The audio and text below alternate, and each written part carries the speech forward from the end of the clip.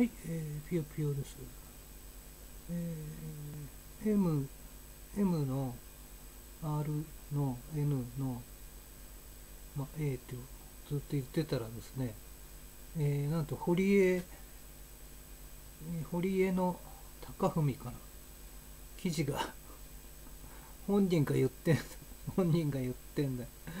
本人がこんなこと言ってんだからえー、ああの動画でも言ってましたね。うん。ささ、うん、言ってましたね。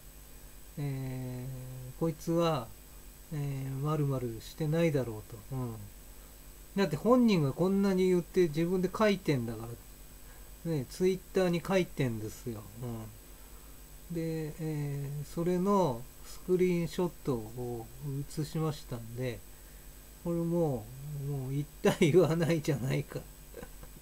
完全な証拠だからねだからなんだっけあの、えー、何でしたっけあの、まあ、音楽の人ですよねなんていう。今話題のえー、ね立花隆には絡まないのにね立花隆には絡まない絡絡まないのに、まあ、いろんな人に絡んでいくということで、え古舘一郎とあのあなんなんていう人あまりまあよく知らないのでですねよく知らないのでまあまあツイッター見てる人はみんな知ってると思いますけどはいということでですねあと、まあ、この立花隆の発言ですね。これが、まあ、強力なんですよね。本当に、まあ、優勢思想。うん。うん。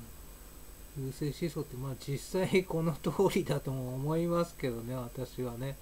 うん。この通りだと思いますよ。うん。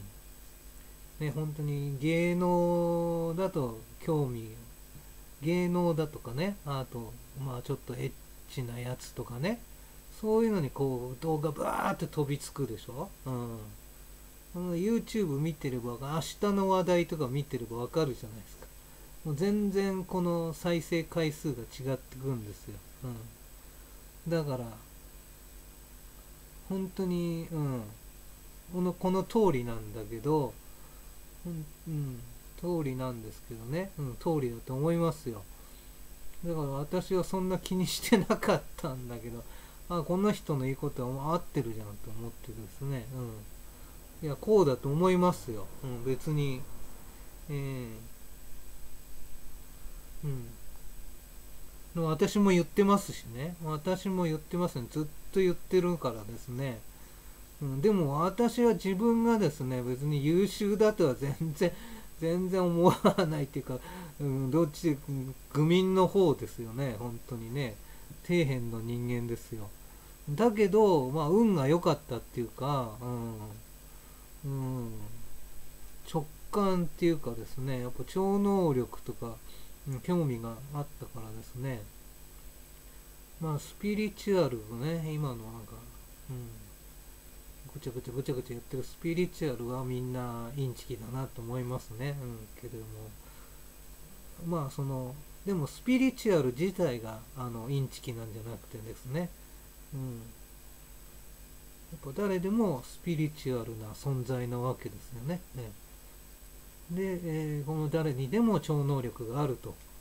えーこれをひな形にも組み込みましたので、もう毎度毎度全ての動画にですね、もうその入れた時点から入って、自動で入ってきますんでね。えー、あと mRNA とね、うん、この mRNA っていうのを解明しちゃえばですね、うん、みんな助かるわけですよ、逆に言うとね。だから、やっぱり問題は問題として、これ事実なので、うん、あの事実なんでね、もう事実をやっぱり受け止めてですね、うん、原因と結果ですよね。原因が分かれば、結果が出るわけですよ。原因、原因を恐れてて、原因に、原因と向き合わないと、やっぱりダメなわけです。原因と向き合えばですね、うん。これは解決方法っていうのは絶対出てくると思うので、うん、解決方法はあるんですよ。絶対にあるんですよ。